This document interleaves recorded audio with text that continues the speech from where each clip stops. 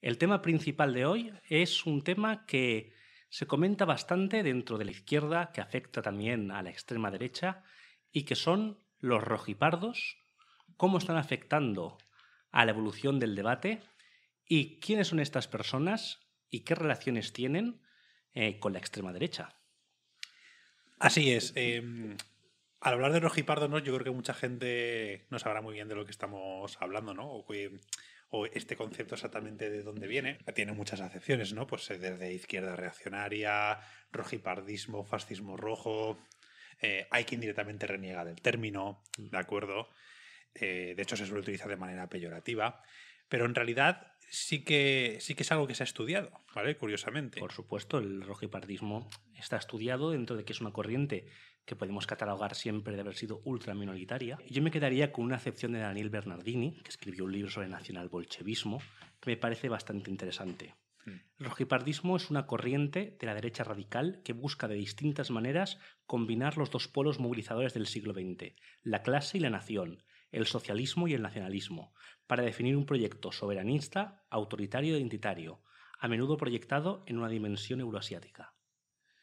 Efectivamente. La cuestión es que eh, ha tenido bastante repercusión últimamente, mm. porque sí que se han empezado a ver, eso lo comentaremos más adelante, diferentes discursos que han intentado definirse como de izquierdas, pero que sin embargo eh, han incorporado elementos fácilmente distinguibles, que son pues, eh, de derechas, ultraconservadores, y que no casan ¿no? Con, la, con la izquierda clásica, lo cual ha sido como muy aplaudido ¿no? desde la derecha y desde ciertos sectores minoritarios, como bien has mm. dicho, Juan Fran. Pero antes de eso sí que me gustaría un poco centrar un poquito más, aunque fuera a nivel histórico, de dónde viene todo esto y luego ya centrarnos un poquito en mm. cuestiones más concretas o de actualidad, un poco para situarnos y para que la persona que nos está escuchando y a toda nuestra audiencia sepa muy bien de lo que vamos a hablar. Sí, porque desde luego el tema del rojipardismo no es para nada algo actual. Es decir, podemos remontarnos hace 100 años a la República de Weimar, ¿verdad, Adrián? Efectivamente.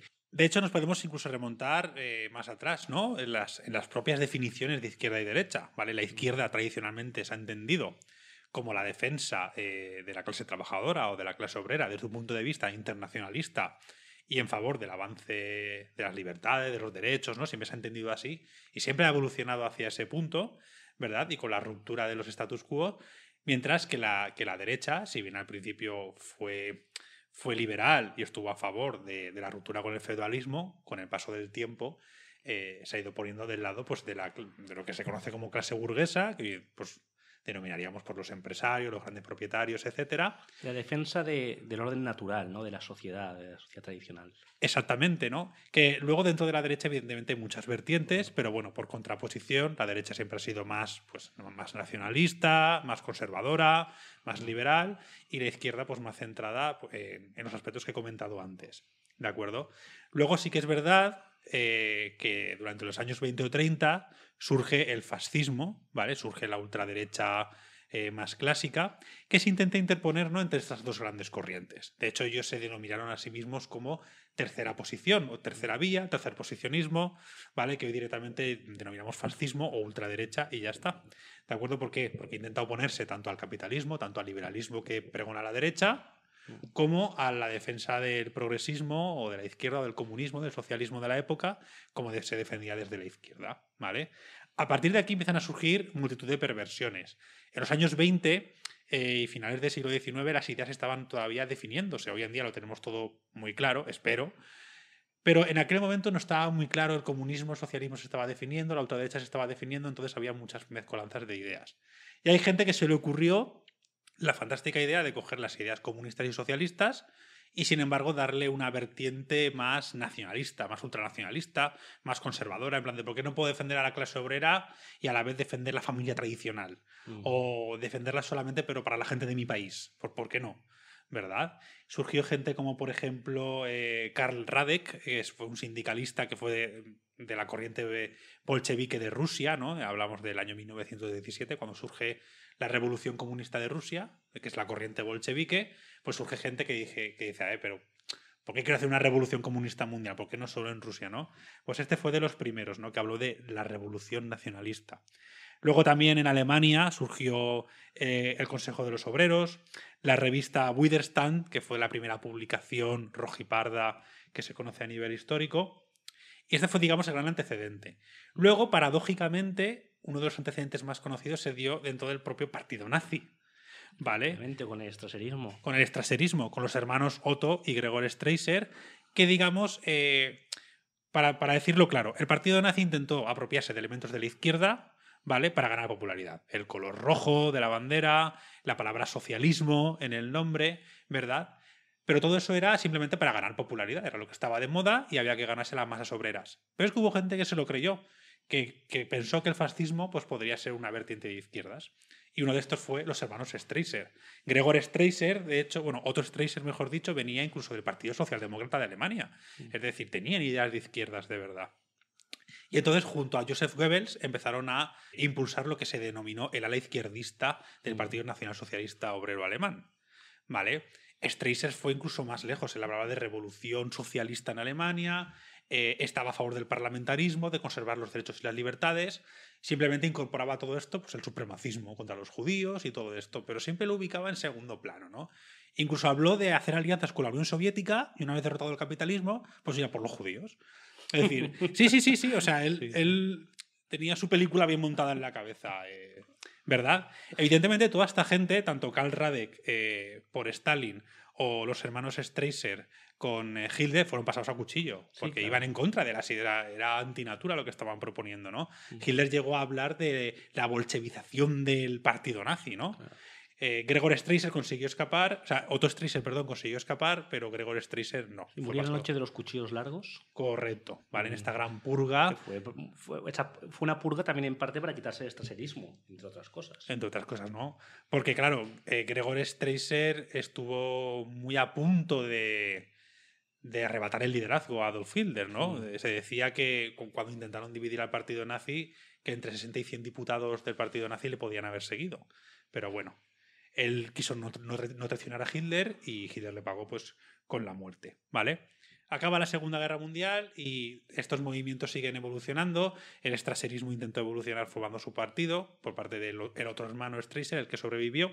No salió muy bien.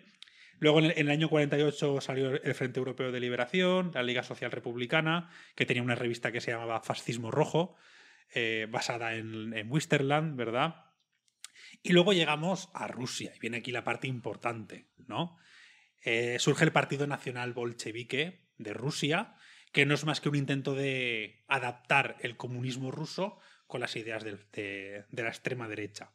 Todo esto vino por Alexander Dagin, que es uno de los... Muy importante, del que vamos a hablar bastante. Yo creo que Alexander Dagin... Eh, Eduard Limonov, que es el fundador del Partido Nacional Bolchevique eh, de, de, Rusia. Em, eh, esta, gente tenía la idea de, lo que ellos denominaron la, cuarta teoría política, ¿no? El fascismo había sido la tercera posición, ahora viene la cuarta posición, mm. que es unir los elementos del fascismo y del comunismo, porque todo lo anterior había, había fracasado. Sin embargo, ¿de dónde saca esta gente estas ideas? ¿Verdad? aparte de los antecedentes que hubo. Pues resulta que eran muy amiguitos de Alain de Benoist. Y aquí, como siempre, acabamos en gris, el think tank este que ha sido eh, un, semillero de ideas ¿no? de la extrema derecha y que sigue goteando hasta hoy. Exacto. La cosa es, acaba la Segunda Guerra Mundial. ¿Cómo puedo hacer que las ideas de extrema derecha que han sido derrotadas cultural y bélicamente y económicamente tengan implantación en la nueva sociedad? Esto se, se plantearon muchos ideólogos de la ultraderecha incluyendo el escritor y politólogo francés y sociólogo Alain de Benoist en los 60. Y dijo, bueno, pues voy a, voy a intentar coger elementos que me permitan que ese discurso cale. Curiosamente se basó en Antonio Gramsci. Sí, es como un anciano de derechas. Efectivamente, de el concepto de hegemonía cultural, ¿no? De mm. tengo que intentar que mis ideas sean aceptadas culturalmente y entonces mi discurso vencerá. Lo electoral es secundario. Sí, su idea fue siempre copiar a la izquierda, copiar los elementos que triunfaban de la izquierda para conseguir llegar a las masas. Efectivamente. Y es curioso porque todos los eh, eh, escritores que han venido después y en los que se ha basado toda la, toda la nueva derecha radical moderna que conocemos hoy en día, Vox, Trump, etcétera, han tenido como referentes a escritores que o bien estuvieron en Grecia mm. o bien estuvieron en contacto con Alain de Benoist. como por ejemplo eh, Paul Gottfried, que es un referente del paleolibertarismo, Mm. que es uno de, las, de, las, de los elementos clave de la derecha radical trampista, pero también Alexander Dagin.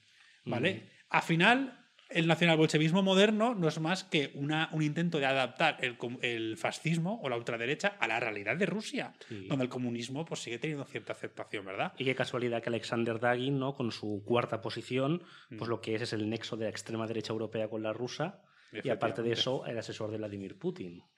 Y- años. Y sostiene, porque claro, se supone que el nacionalbolchevismo eh, reniega de ciertos aspectos del fascismo como el supremacismo, pero en la práctica son xenófobos de la, de la hostia. Sí. O sea, Y si no me equivoco, del Partido Nacional Bolchevique finalmente expulsaban a Dagin mm, por fast- ¿no? O algo así, Sí. el partido. Sí, sí, sí, claro, porque claro, mucha gente se mete ahí creyendo que de verdad es comunismo y luego te ves que no, ¿no? Que son ideas de, de extrema derecha. Y bueno, han habido muchas mez- me- mezcolanzas de muchas perversiones ideológicas, que me gusta llamarlo a mí, Sí. por el estilo, que intentan aunar ambos elementos, pero claro, al final los politólogos cansados de la indefinición ideológica dicen si es que esto además al final es ultraderecha. Si tú renuncias a ciertos elementos que son característicos de la izquierda, por mucho que tú te autodefinas de izquierdas, Mm. al final terminas yendo a, a- a parar a morir a lo mismo.